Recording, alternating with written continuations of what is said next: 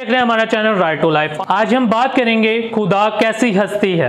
आपने अक्सर बहुत सारे लोगों के बहुत सारे बयानात सुने होंगे, वो खुदा की हस्ती को मुख्तलिफ़ तरीक़ों से बयान करने की कोशिश करते हैं, अपने नज़रियात पेश करते हैं, लेकिन आज हम खुदा के ज़िंदा और पाक कलाम से जानने की कोशिश करेंगे कि खुदा की हस्ती कैसी है। मज़ीद बात करने से पहले आप सबसे गुजारिश है कि अगर अभी तक आपने इस चैनल को सब्सक्राइब नहीं किया तो चैनल को सब्सक्राइब कर लो, क्योंकि इसी तरह मैं कलाम की वीडियोज़ आपके लिए लाता रहता हूँ, ताकि आप खुदा के कलाम को समझ सको, सीख सको और खुदा के कलाम से बरकत हासिल कर सको।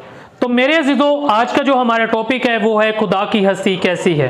तो मेरे अजीज़ों, हम खुदा को नहीं देख सकते, क्योंकि खुदा एक रूह है। इसका मतलब है कि वो एक ऐसी हस्ती है, जो हम जैसा जिसम नहीं रखती, बल्कि हमसे कहीं ज़्यादा अफजल है। जैसा कि योहन्ना उसका एक बाप उसकी अठारह में लिखा है, खुदा को किसी ने कभी नहीं देखा। इकलौता बेटा जो बाप के गोद में है उसी ने ज़ाहिर किया। आमीन। इसी तरह दूसरी आयत है, योहन्ना चार, बाप उसकी चौबीस आयत। खुदा रूह है और ज़रूर है कि उसके परस्ता रूह और सच्चाई से प्रस्तिश करे। आमीन।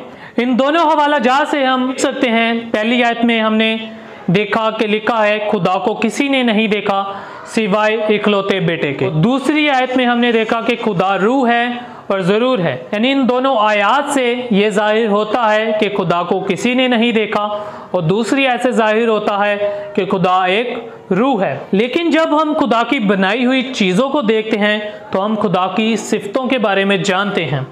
मिसाल के तौर पर खुदा की बहुत सारी ऐसी नेमतें हैं जिनको हम देखें तो खुदा की अजमत, खुदा की सिफतों का हमें पता चलता है। खुदा की ला में दूध कुदरत का पता चलता है। जैसा कि रोमियो के खत उसका एक बाप उसकी बीस आयत में भी लिखा है, जब से दुनिया बनाई गई है, तब से अनदेखे खुदा की सिफात उसके बनाई हुई चीज़ों से साफ़ साफ़ दिखाई देती है। यानी उसकी खुदाई और अब्दी ताकत इसलिए कि वो खुदा का इनकार करने का कोई बहाना पेश नहीं कर सकते। आमीन। यानी हम देख सकते हैं कि खुदा की जो सिफतें हैं, खुदा की जो नेमतें हैं और जो सारी खलकत है, वो किस तरह खुदा की कुदरत को यानी खुदा की हस्ती को बयान करती है। और मेरे अजीज़ों, सबसे बढ़ के हमने अगर खुदा के बारे में जानना है, खुदा की हस्ती के बारे में जानना है तो खुदा का पाक कलाम हमारे पास है। जब हम खुदा के कलाम को पढ़ेंगे तो हम खुदा की बेशुमार सिफतों, नेमतों, कुदरत और अजमत के बारे में जान सकते हैं। और पाकलाम हमें बताता है कि खुदा को क्या अच्छा लगता है और क्या बुरा लगता है। और खुदा इंसानों के साथ कैसे पेश आता है? खुदा इंसानों के साथ मुख्तलिफ़ सूरत हाल में किस तरह का रद्द अमल करता है? तो मेरे अजीज़ों, ये खुदा की हस्ती है। खुदा की नेमतों को देखने से हमें खुदा की लामदूत कुदरत का पता चलता है। तो यकीनन आज की वीडियो से आपको बहुत कुछ सीखने को मिला होगा। मजीद ऐसी वीडियोस देखने के लिए हमारे चैनल को सब्सक्राइब करें, वीडियो को लाइक, शेयर ज़रूर किया करें।